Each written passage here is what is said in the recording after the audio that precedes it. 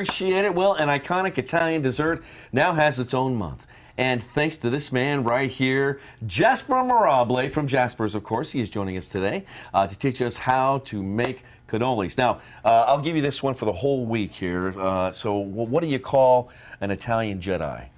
An Italian Jedi. Yeah. Oh, you got me on this one. Obi-Wan cannoli. Oh, I all I there you one. go. I you can use that, on your friend. customers I all will. this week. All right. I will.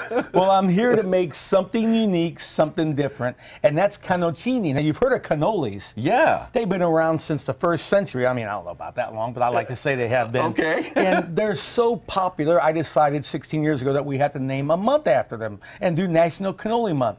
I ride around town, pass out cannolis. I do 30 cannolis in 30 days. Oh, wow. Captain Crunch, Crunch Berry, peanut butter and jelly for Elvis, uh, So- Nutella. So, Jasper, tell me, so you're making different flavors, or this is how you make the cannoli? Well, the original cannoli, Oh, the orig- okay. you know, is just ricotta cheese, Yeah. powdered sugar, maybe a chocolate bit in there, and some candied fruit, a little bit of cinnamon oil if you're from certain areas of Sicily, uh-huh. and then I mix in different flavors every day. Oh, I see what you mean. Yeah, You've yeah, changed it up every day. I like that. But this year, I brought it to a new level. This is like Uh-huh. a cannoli month on steroids, okay?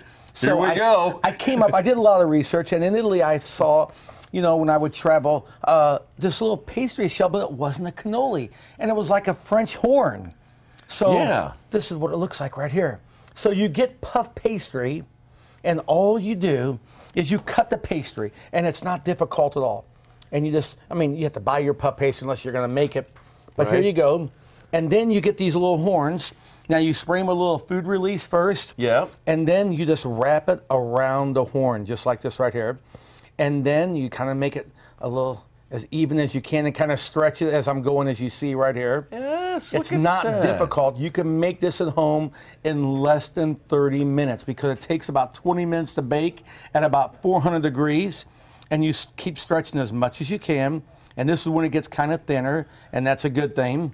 Just like that right here. Oh, look at that. It works out every time, and it's always just so perfect. I leave a little on the end because I don't want it too tight on my Mm-hmm. ends. Would you put something on top of that before you put it in? Exactly. So you uh, brush it with a little bit of egg wash Okay. or egg wash and water, and then I like to sprinkle a little bit of sugar on there beforehand. Oh. Some granulated sugar, Yes. okay? And then you fill it with the cannoli filling.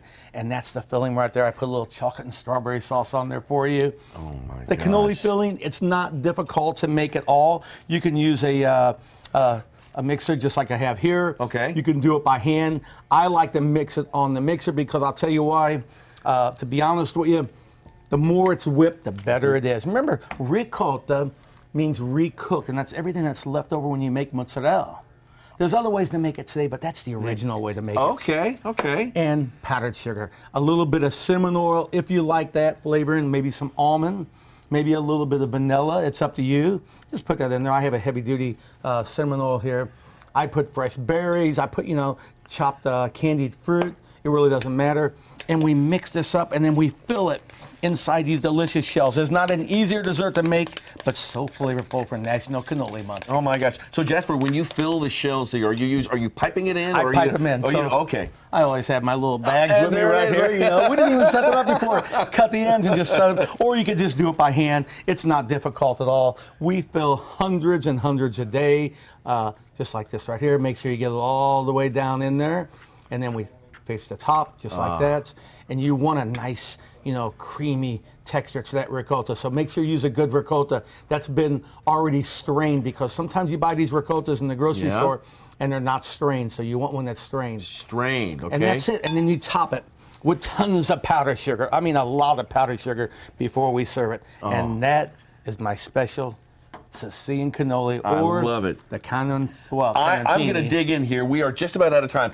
Really quick here. The cannoli mobile is back. It's back. It's damaged. It's back, though. I can't thank you all enough here at the station for getting the news out that day. We were thinking about Um, you. Seriously. And just, I mean, we saw the video of it rolling away, and was sort of like, oh, Oh my God! goodness. Come on, seriously, the third Yeah. time. But it's back. It's safe. My nephew's going to work on it, get it fixed. We'll have it back before the end of the month, rolling around town, and you can take photos with it and everything again.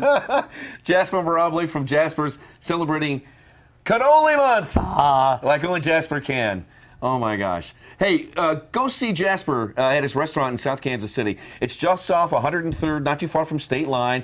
Uh, you can follow Jasper on social media at JaspersKC, or you can go to jasperskc.com. Great to see you.